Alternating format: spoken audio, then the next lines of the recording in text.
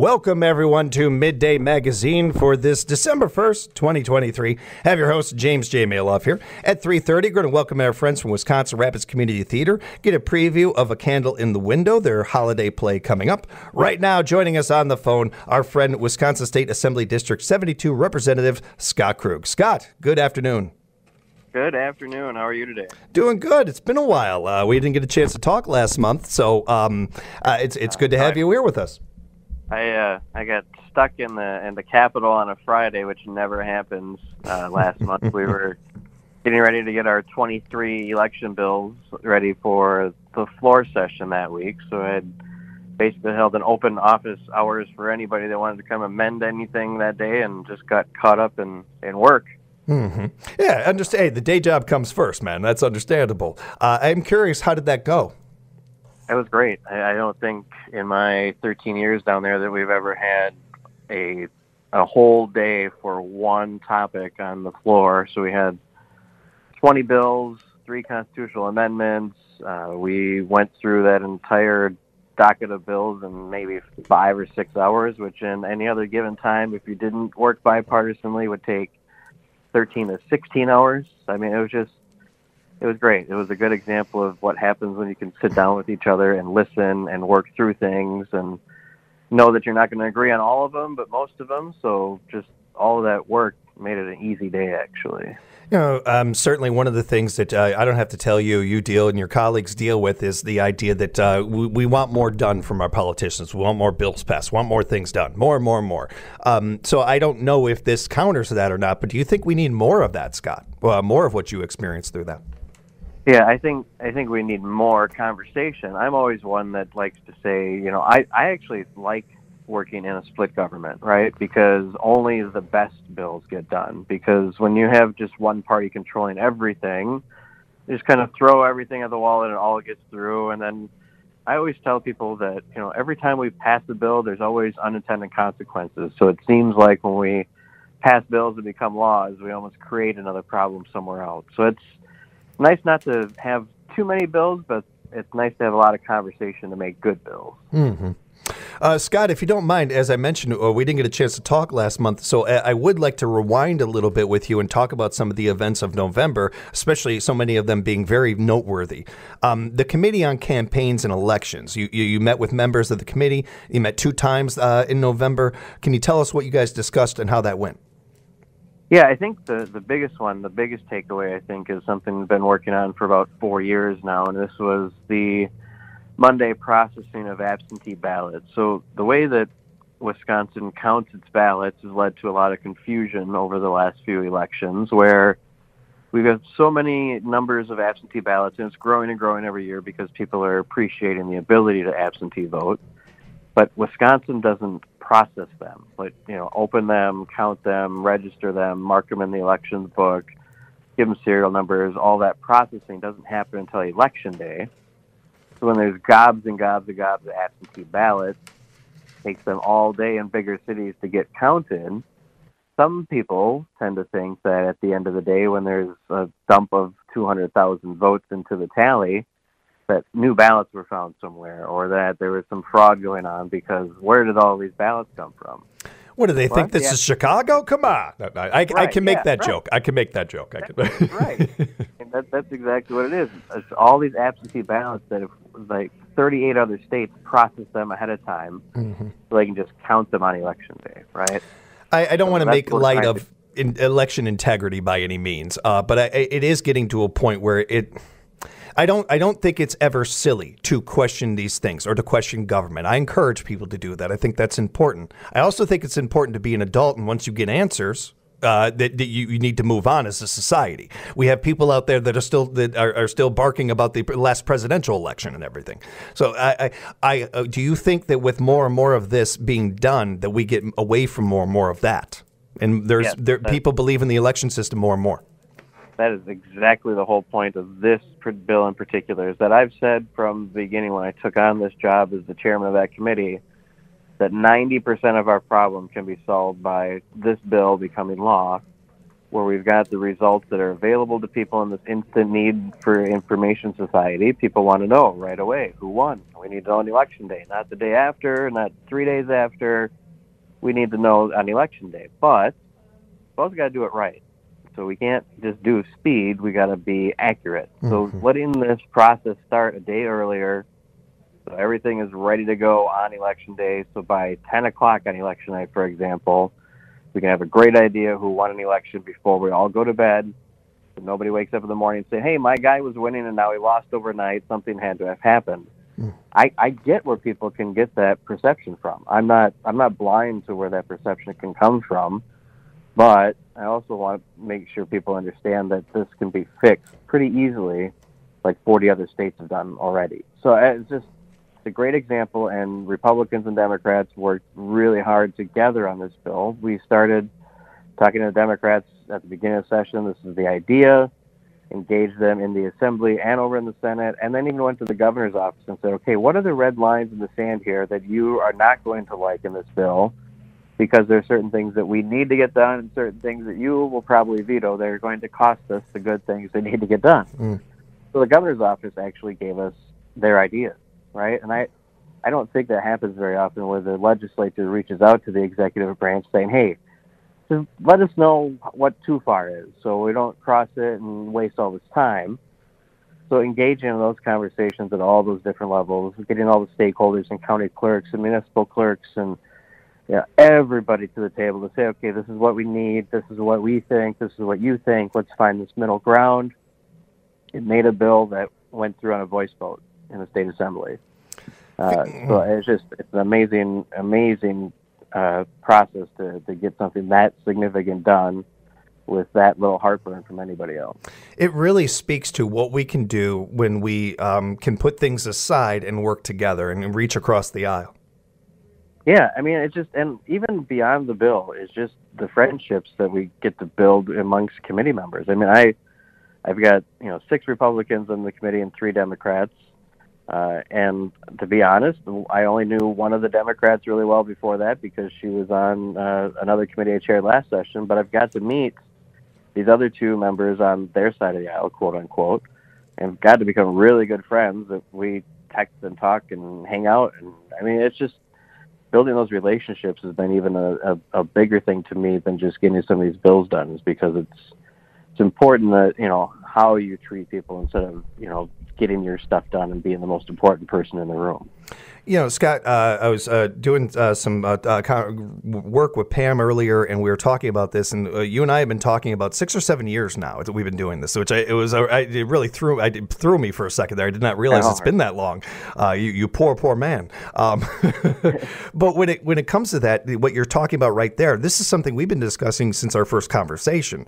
Um, it, the the importance of Now, where we are now with this, I think that we have such an opportunity, not an opportunity, uh, it's something that's actually happening in real time. Wisconsin is such an example to the rest of the union of a purple state and what can get done in a purple state. I think that's all the more reason why it's so vital going forward in a brand new year with new elections coming up to get away from the divisiveness and show so much more uh, of a connection. If you're running against somebody, you can stand on your own word. You don't have to trash talk them. Just do your own thing. I think we're seeing more and more of people wanting that out of their politicians, and hopefully we'll see more of that come election season. We'll touch actually a little bit more on campaigns in a moment yeah, I mean that's that's what I've decided to, for my first campaign on. My wife has always told me that I'm not going to do that, or she's not going to support any more of my efforts to run. it made it an easy choice for me to, to take yeah, that yeah. path because I I literally I don't even ever mention my opponent's name when I'm running. I don't need to. I, I can I can work on the I can pitch people on what I've accomplished and the ideas that I have coming up. So it, it's just it's so much easier. And this, and I've and I've actually branded this thing that we've been doing at the Capitol with this bipartisan push, calling it a new way forward. We just it's spreading to other committees in the assembly to say, okay, why don't you sit down with your members on the other side, figure out what's going to work, get it moved forward, get it to the governor's desk, let's get these things done. So it's it has been great to to swim against the tide, so to speak, and actually mm-hmm. accomplish a lot of this stuff. Um, uh, Scott, I mentioned campaign season, and it seems like it's right around the corner. And and really, it, I was joking actually on the air earlier about this. I, it's a little like the NFL where there is no off season anymore. It, yeah. it, politics is kind of like that, where it always there's always it seems like it's always campaign time. Um, with that being said, a bipartisan group of Wisconsin lawmakers is circulating a bill that will require candidates and political groups to tell the public when they use artificial intelligence to generate audio or video in their ads.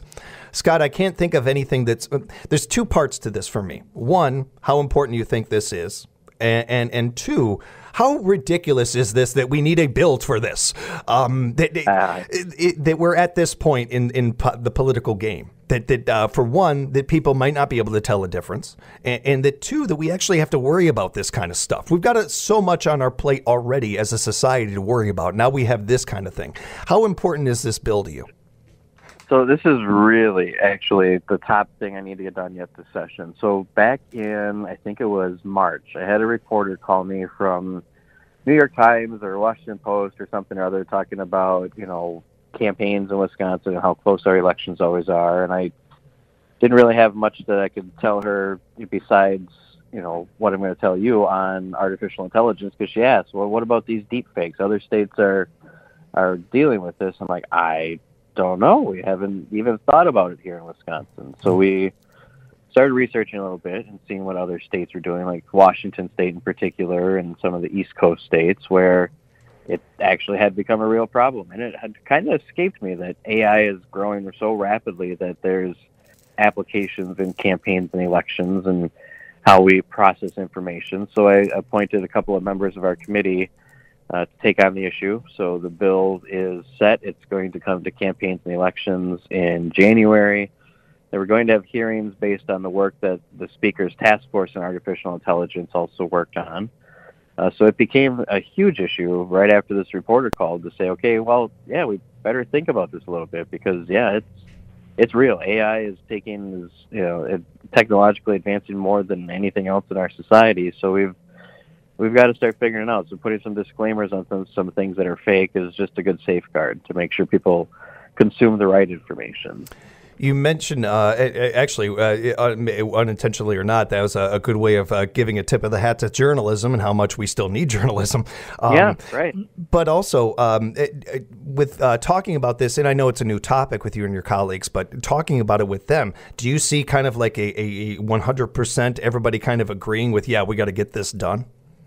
Yeah, it was. As soon as we appointed a couple of members to work on this issue, they came together pretty darn quick on what would work and what are the guide rails. And, you know, we've got some pretty young bucks in the assembly right now. I call them our, our millennial legislators who are all over this. I mean, there's a good group of a dozen or so of these uh, men and women who are, you know, a lot more technologically savvy than I can even say I am at this point, who knew exactly who to go to and talk to and in you know the technology industries, and I mean they've done a great job on vetting this out. So it was pretty well agreed on pretty quickly. We are speaking with Representative Scott Krug right now. And, and, Scott, I wanted to get into this one with you as well. You testified uh, last month in front of the Senate Committee on Transportation and Local Government, along with uh, Mick Furkey. I apologize if I don't get that name right. Um, Mick and you, in support of SB 230. This bill is an effort to, endorsed by RV dealers, RV manufacturers, to improve and clarify Wisconsin's laws within the rapidly growing RV industry.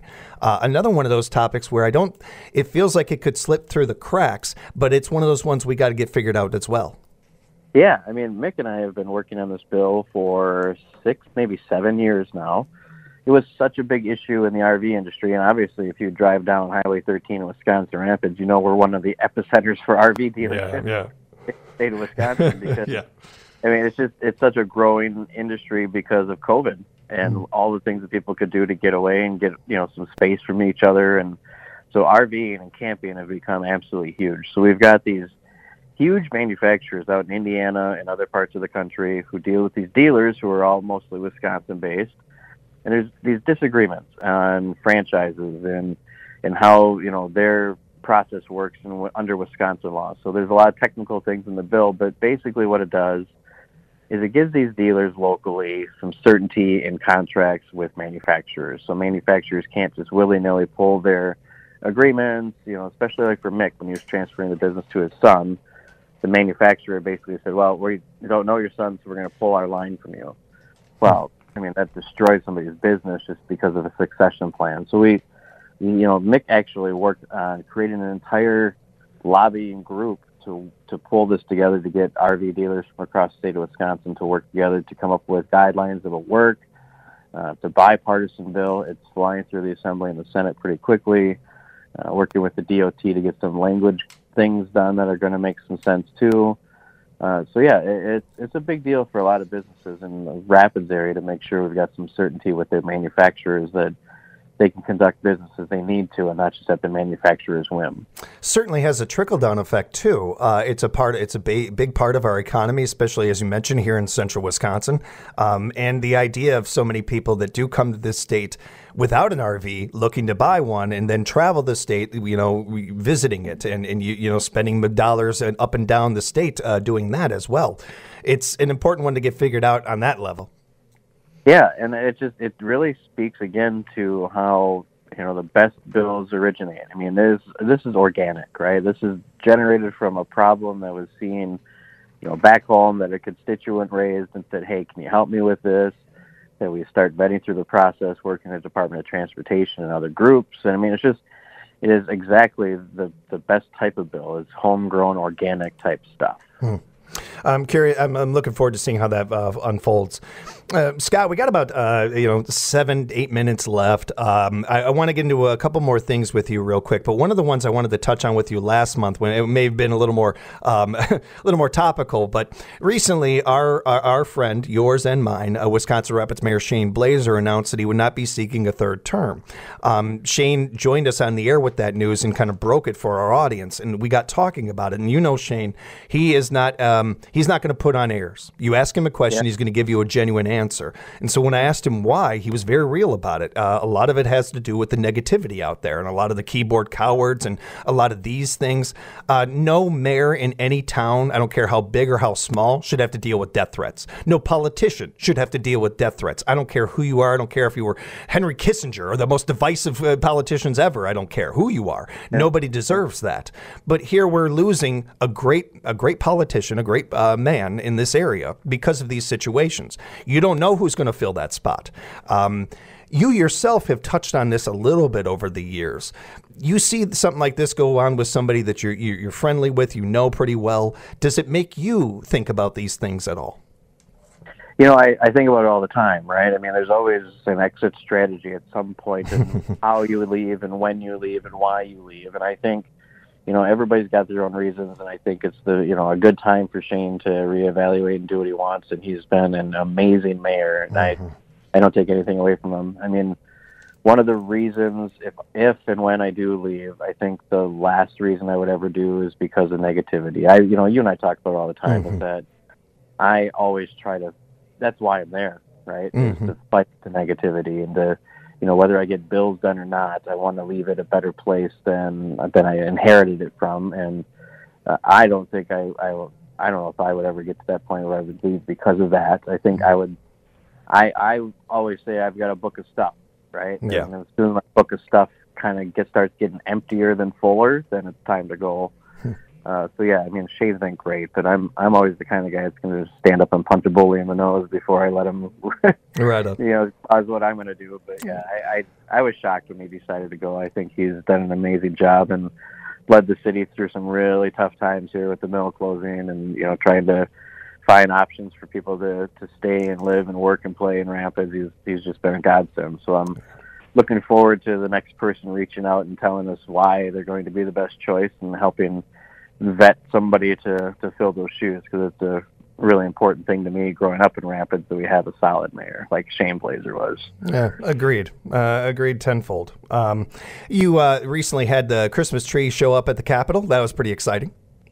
Yeah, it's always cool. I mean, that's the that's one of the best times of the year is now that the tree's getting decorated, getting folks down there to see it. I mean, it's always a great story too, where the trees always come from. I always like like listening to the, some of these stories, and this one was literally plucked out of somebody's front yard. It's not like a tree farm tree or anything. This is literally the tree picked out of somebody's front yard in Rhinelander that's made its way to the Capitol Rotunda. So it's it's just it's a it's a great thing to to see this tree get put up and spread out and how they trim it and how they support it. I mean, it's just it's such a huge process to get that thing in there and you know, and get it all set up. So I, you know, I would highly encourage if you haven't seen it at the Capitol during the holiday season to get down there before Christmas and uh, you know check it out because it's it's something to behold.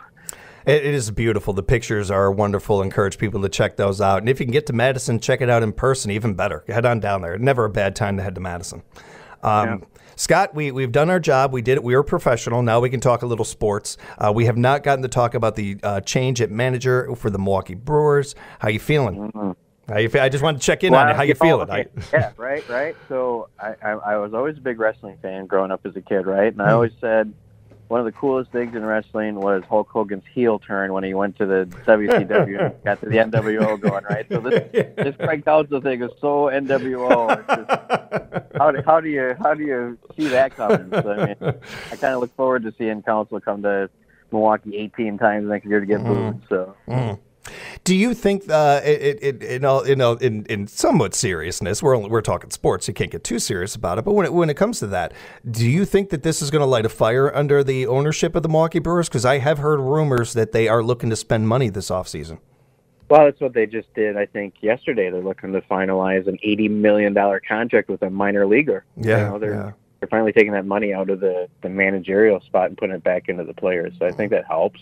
Uh, you know, Pat Murphy's going to be a solid guy. He was he's been there the whole time with Counsell. So I mean, you don't need a superstar to manage a team. Look at Mike Shildt when he managed the Cardinals, now getting hired by San Diego. I mean, you can find some guys who don't need to make eight million a year to yeah. to manage a team and spend it on the field. So I think it's gonna be exciting. I mean, as long as they figure out what they're gonna do with Adames and Burnes, if they're gonna keep them or trade them. I mean. You know, those, that's kind of the last piece to see what their direction is going to be. If they send them off, obviously it's a rebuild. But if they keep them, I think they feel pretty good about their chances of getting back to the playoffs again. So it looks like uh, the manager in waiting is Rickie Weeks. Uh, what do you? How do you feel about that? That one I'm not so huge on yet. I mean, you know, we kind of always go through this thing in Milwaukee where we got to have a hometown guy end up being the manager. I mean, it worked out great with Counsell, but it doesn't always work out when you try to force it. So I'm glad they didn't put him in there right away mm-hmm. and let him learn the ropes because he really hasn't managed anywhere else. But it's always cool to see hometown guys, but you kind of got to be careful sometimes being that big of a homer to try to make sure you're going to win a World Series. You got to got to find the right person, not just the the person from home. Yeah, you look at uh, a couple of organizations that have done that over the years, not gone very well for them. So, um, well, I mean, you know, you know, David Ross, you know, the Cubs situation. Oh, sure. I yeah. thought I thought it would have been a great trade. Just bring Rossi up here. You know? Yeah, yeah. I, I, I thought he's a perfectly fine manager. So I, I, if I was a Brewer fan, I would have been all right with that too. Um, I, I, did want to ask about one other thing when it comes to Milwaukee Brewers. Now that it has been settled and uh, the Brewers aren't going anywhere, not that we necessarily thought they were, but it's official and the, the contract is signed, uh, the team is staying. Do you think that there's any talk of turning the Milwaukee area a little bit like Wrigleyville, a little bit like what Jones did? After the Ricketts did that in Wrigleyville, everybody picked up and started doing it. Da- and Dallas, they've done a yeah. similar thing with the Cowboys. Do you think that you could see, certainly maybe not to that extent, but some level of that with the Brewers? Well, that's what we kind of laid out for them during this legislative process on the bill, saying, "Hey, you kind of need to start thinking about some of these things like that. You know, like like Green Bay's done with Titletown. You mm-hmm. know, just you know, like the Bucks have done with the Bucks district. You know, just you know, let's try to make this a little more family friendly, user friendly. I mean, it's always a great tradition. I love tailgating on the parking lot at, at a Brewers game, but it's got to be more. So I mean, it was nice when they added the Little League Stadium out there, and if they can find ways to improve that area, because honestly, for stadiums across the nation, you know, AmFam Field or Miller Park, whatever you want to call it, is literally the only one that I know of that is in the absolute middle of nowhere. yeah. right. Yeah it's surrounded by concrete highways everywhere, so you kind of got to figure out a way to start making it a little more user friendly all around on the outside. So hopefully they they just bought a couple of acres on the outskirts and they'll start developing it a little bit better and more and give us a a little more entertainment value for folks who don't want to just sit in the parking lot and cook some brats and drink some beer. Not that there's anything wrong with that. Not at all. Nothing wrong at all with that. Uh, we're looking forward to it come spring. Scott, uh, always good talking with you. If people have follow up questions, want to know more, how can they get uh, in touch with you?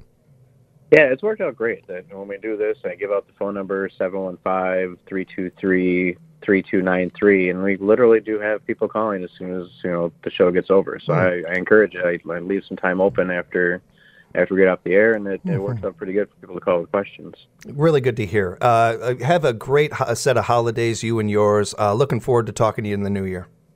Absolutely. We'll talk to you again soon. Take care, Scott. We'll have more Midday Magazine for you coming up right here on WFHR, locally grown radio.